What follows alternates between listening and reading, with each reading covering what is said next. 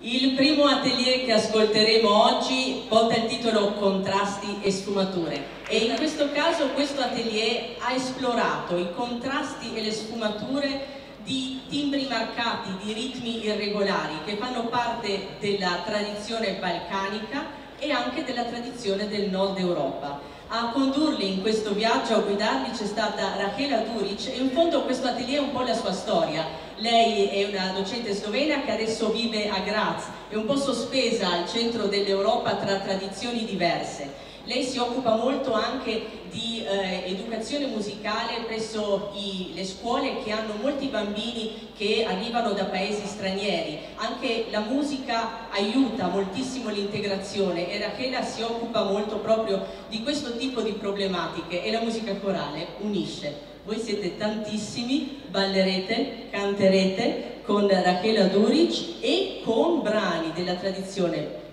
bosniaca, macedone, e poi con una passeggiata anche al nord in Finlandia e anche e con la tradizione lappone dello yoik, contrasti e sfumature.